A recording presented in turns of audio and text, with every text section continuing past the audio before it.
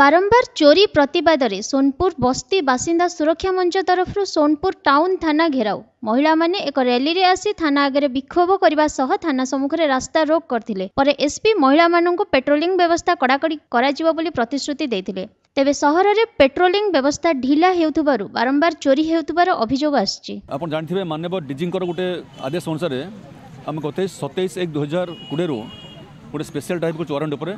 बर्तमान सुधा आम जिले में अणस्तरटा वारंट एक्जुसन हो सारे से भितर बहुत चोरी केस वारंट अच्छे ये ड्राइव जेन चलते भितर निश्चित भाव में सफल हूँ चोरी केस धरपाई एटा सोनपुर चोरी हो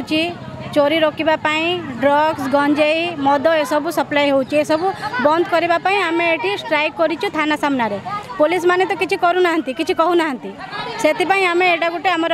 योजना करके बंद करने चाहूँ से स्ट्राइक करुँ भी सुरक्षा ना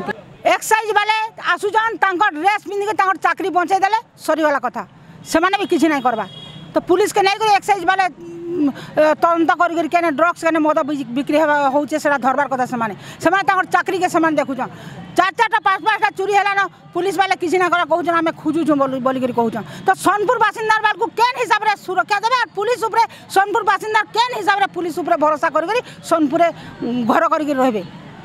ସୁବର୍ଣ୍ଣପୁରରୁ ପୀତାମ୍ବର ମହାପାତ୍ରଙ୍କ report live Odisha news